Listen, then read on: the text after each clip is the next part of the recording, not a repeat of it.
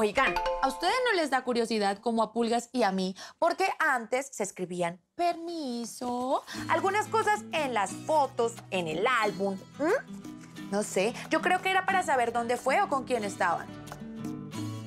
Claro, como cuando nosotros escribimos cosas en las fotos que publicamos en las redes sociales y etiquetamos gente.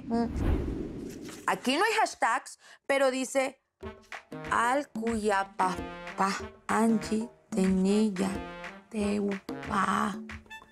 Ay, y es una foto de mi abuelita con un perrito. Así como tú y yo, pulgas, mira. Yo no sé muy bien qué dice, pero sí sé que es en lengua nasayuwe, que es la lengua nativa de mi abuelita.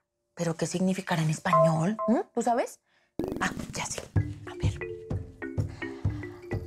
Al pa pa anji de ni yate upa. A ver.